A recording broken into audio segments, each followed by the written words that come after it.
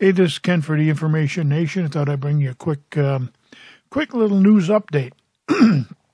this comes from Deneen Borelli, and uh, she's a black woman who does um, politics.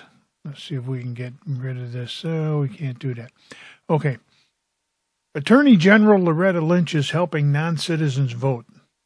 Attorney General Loretta Lynch, Justice Department, is helping to ensure that non citizens can vote in the 2016 presidential election, a move that would give a clear advantage to the Democratic Party in the general election.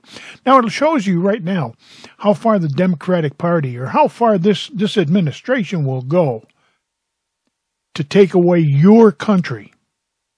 Your country. It's not his country, it's our country and they're going they want to try to take it away from you.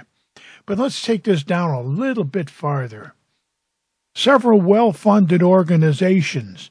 Now these are all leftist, far left, radical left organizations. The League of Women Voters and the NAACP are fighting efforts to prevent non-citizens from voting illegally in the upcoming presidential election and the United States Department of Justice, under the direction of Loretta Lynch, is helping them.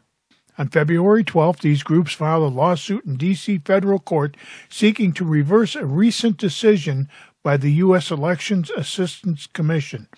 Now, the thing is, the Commission's decision allows Kansas and other states, including Arizona and Georgia, to enforce state laws, ensuring that only citizens register to vote when they use federally designed registration form. An initial hearing in the case is set for Monday afternoon today. The lawsuit is a continuation of an ongoing legal battle over whether or not the EAC needs to approve the printing of state specific voter requirements in Arizona's federal forms. Now, here's the thing remember the battle that was going on over voter ID? Whether you had to um, have a photo ID in order to vote. And they have been fighting that. What is wrong with that? It's not racist like these scumbag, far left, communist organizations want you to believe it is. It's not. Try to cash your check without a photo ID. Go ahead, I dare you. Try to get a library card without one but we can do the greatest thing that this country allows you to do vote for your elected representatives without identifying yourself. Now, if you think that this is bad, I'm going to take it down a little bit farther here. It says, um, now, here's the things uh, things get fishy. When the state of Arizona requested DAC approve state-specific requirements for voter identification, the Justice Department actually helped to draft a request denial letter. So much for the EAC being an independent agency. So here you have an administration, and let's face it, ladies and gentlemen, you know damn well Obama's got this whole damn thing. These Democrats, these communists have got this whole thing stuck in their favor. Reports speculate that Obama will nominate Loretta Lynch to replace late Justice Judge uh, Justice Scalia on the Supreme Court bench. Ironically, it was Justice Scalia who wrote the majority decision requiring the EAC to approve Arizona's request for specific citizenship requirements in the first place. Now, I'm going to tell you what this is setting up for. And all you people with all of your little liberal leanings, you go ahead and see if I'm wrong.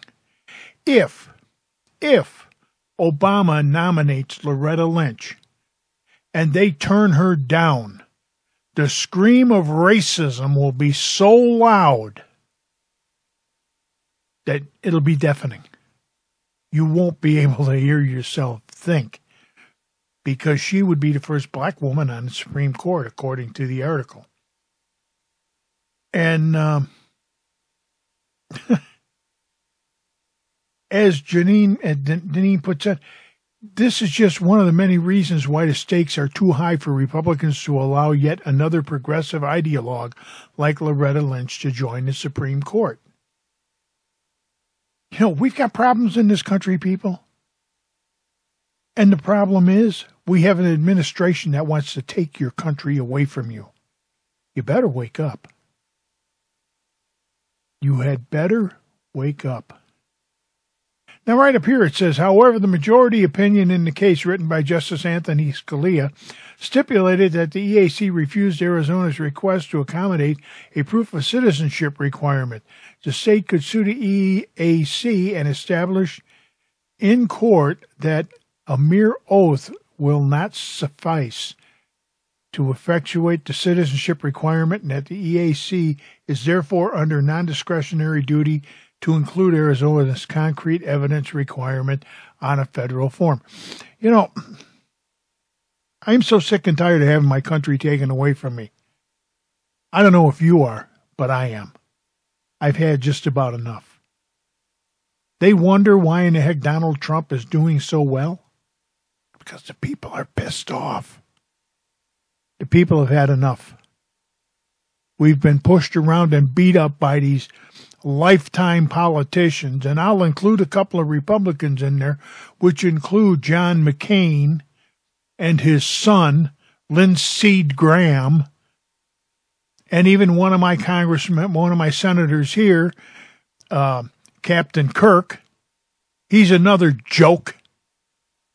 They run under the guise of being Republicans or the guise of being conservative, and they don't do it.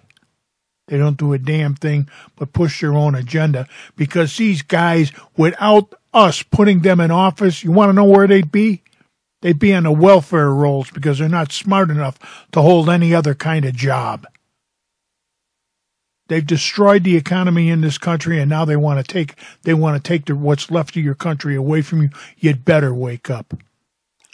But hey, that's just my opinion. This is Ken from the Information Nation bringing you more stuff. Hey, subscribe to the channel if you would. Give us a thumbs up. Share the video with your friends. And remember, in the meantime, in between time, ain't we got fun? Have a great day.